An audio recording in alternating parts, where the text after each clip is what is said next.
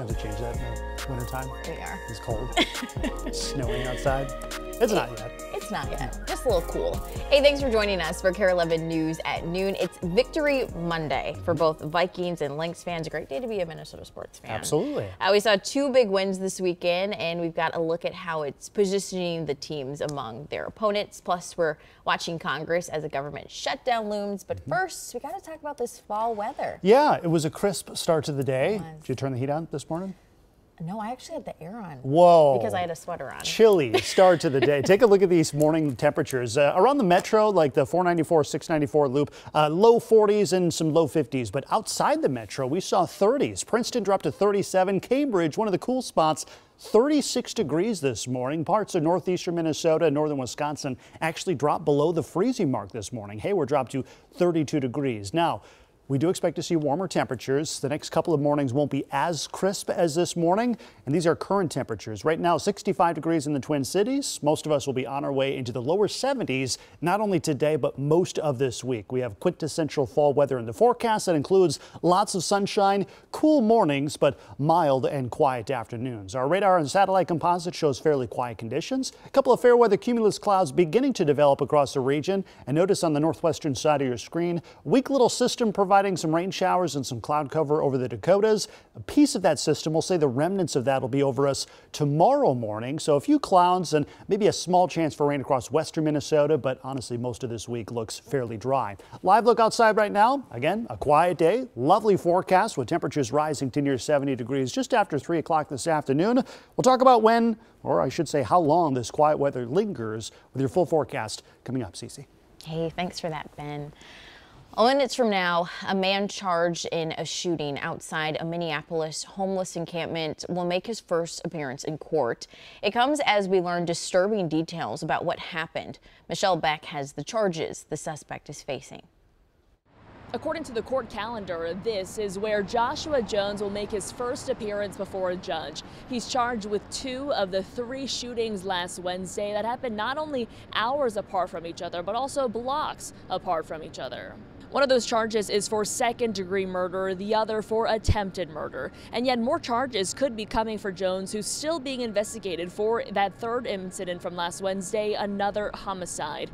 Prosecutors call the 36 year old a known gang member. Their evidence, they say, includes surveillance video of Jones shooting and killing someone at point blank range. He's then accused of targeting somebody else in the same area near a homeless encampment. The victim was fixing a bike this is ridiculous that there's a second murder at an encampment in this neighborhood a day after we were just talking about this with the community.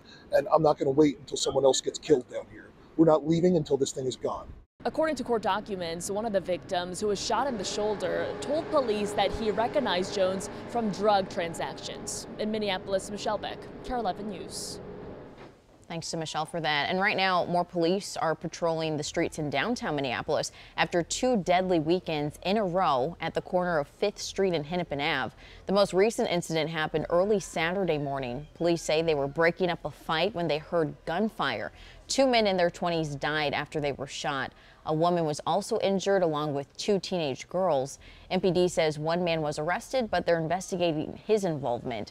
One person who helps police monitor the area says he believes a downtown curfew needs to be in place and enforced for young people. It starts at home. So we got to figure out what's going on in our homes that's allowing some of this stuff to happen and getting them parents the necessary help that they need for us to get rid of this nonsense that we're dealing with. MPD says they'll keep monitoring things to see if a larger presence needs to continue in the future. Minneapolis police are also investigating a stabbing that sent four men to the hospital. It happened around 1 Sunday morning near 13th and Lake in South Minneapolis. Police say it all stemmed from a large fight. Ambulances took two people to the hospital, including one with serious injuries. Two more people arrived separately. Police arrested a woman who arrived with one of the injured men, but they say they're still trying to figure out how she was involved. We're also keeping an eye on news out of Alabama where a manhunt is underway right now. Police say authorities there are searching for multiple people responsible for a deadly mass shooting over the weekend. Police say four people were killed in a popular nightlife area in Birmingham. At least 17 others were hurt. Investigators say they believe it was a targeted attack against one of the victims. So far, there have been no arrests. Taking a look at world news now, the State Department is issuing a serious warning for Americans in Lebanon. Get out of the country now. Deadly attacks between Israel and Hezbollah are ramping up, reigniting the concern of a wider war in the region. Delta just announced it's pausing flights to Israel through the end of the year, and the State Department warns other airlines may follow. Meanwhile, President Biden says they're doing everything they can to prevent the spread of war. We're taking a live look now at the Capitol, where we're keeping an eye on lawmakers' next move as a potential shutdown nears. Republican House Speaker Mike Johnson has made another short term funding proposal. John Lawrence shows us where he could find Democratic support. The U.S. government is running out of time and money simultaneously. Um, there will not be a shutdown. There's no way that anybody in their right mind up there could allow that to happen. House Speaker Mike Johnson wants to prevent a shutdown. Congress has an obligation to fund the government.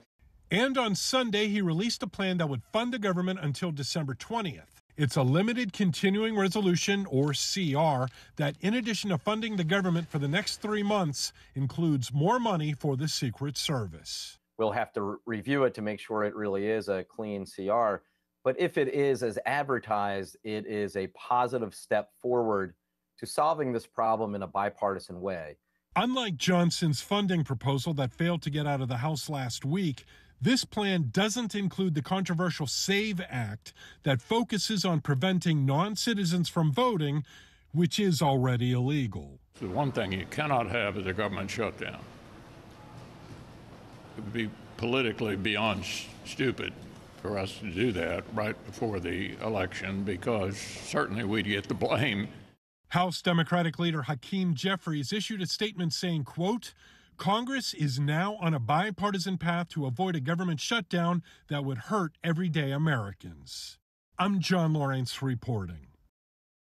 General Motors is temporarily laying off about 1,700 people from an assembly plant in Kansas. It's making changes to the facility in order to create the next Chevy Bolt electric vehicle set to come out next year. The cuts start in November when production of the Chevy Malibu ends.